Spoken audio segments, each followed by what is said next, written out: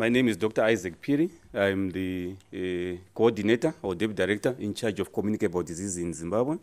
I also coordinate emergencies.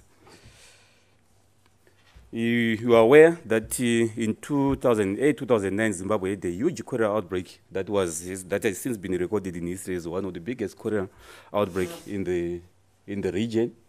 But uh, in in September 5, when we declared a cholera outbreak in Harare, we were worried that this outbreak would develop into that huge uh, outbreak like that, what happened in 2008, 2009. So from 5 September, uh, I will talk about 2018, 2019 up to date. From 5 November, uh, 5 September, sorry, we uh, had up to 10,000 cases of cholera that have been reported up to December uh, 20, 2018. And of these, 313 were uh, confirmed cases.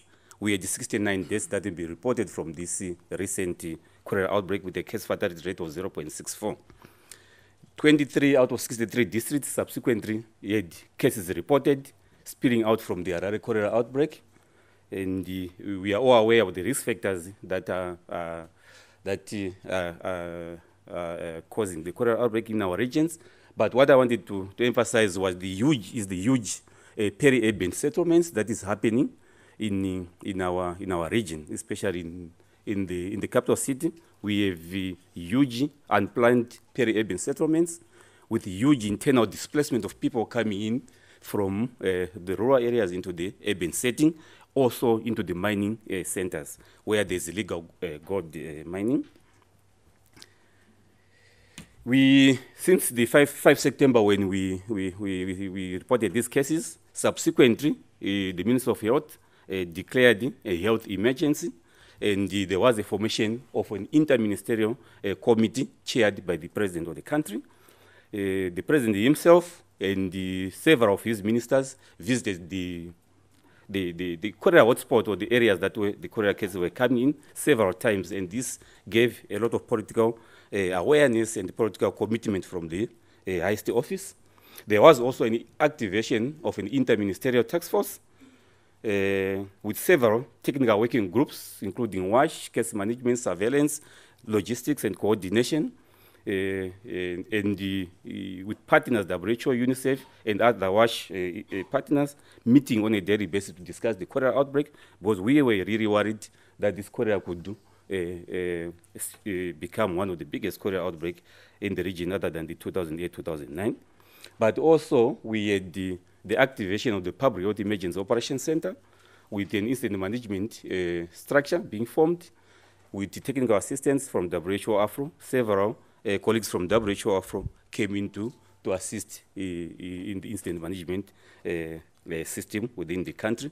As we speak, we are in the process of constructing one of the biggest, probably, uh, public health emergency operations center with the assistance of uh, Higher Life Foundation or Econet Wireless, which is one of the private companies in the, in the country that is help us in the cholera uh, response. But also there was huge mobilization of staff from the other provinces, from other districts to come in to help in case management, in the setting up of cholera treatment camps, in the in, in issues of wash and case uh, management within during this cholera outbreak.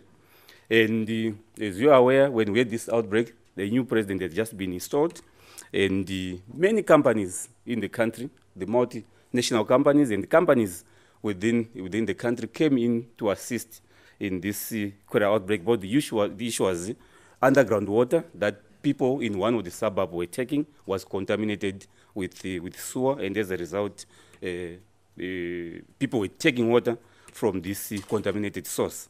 So many companies came in with the provision of safe water. Some big companies, Schweppes, Delta, which, is, which does Coca-Cola and all that, all those companies came in with huge supplies of potable water. So it was really difficult to do. I mean, it was really a huge uh, effort from, from, from these companies. But also, Econet Wireless, which is the, uh, the arm of, I mean, ILF Foundation, the arm of Econet Wireless, which is this big telecom company known in Zimbabwe and in other parts of, the, of, of Africa, uh, is currently revamping the water and sewer reticulation system in targeted areas, in targeted hotspots areas in, in Harare where the cholera outbreak was, uh, was reported. And as a result, a lot of investment in terms of monetary has been invested in WASH, uh, in the WASH sector.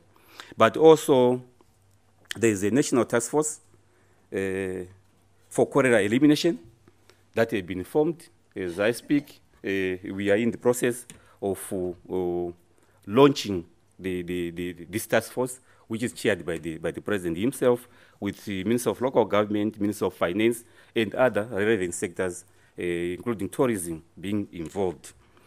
Uh, we would do. We are also in the process of uh, uh, setting up or coming up with the with an, an a elimination plan with WHO, which we need we need assistance from from them.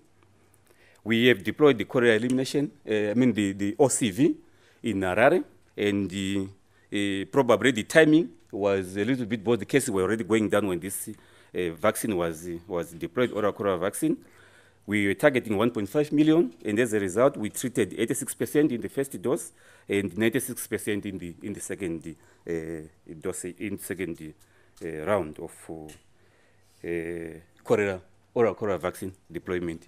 And uh, probably the last slide, uh, I'm aware that I have one minute left, and uh, we probably talk of the, GCT, the, the, the, what we need from from from uh, cholera task force for cholera control is probably to help us come up with the, the national cholera plan, elimination plan, and would seek probably the use of a, a consultant uh, as soon as possible because we would want to have a launch of this plan before the upcoming rain season where we always expect more cases of cholera being reported. Thank you.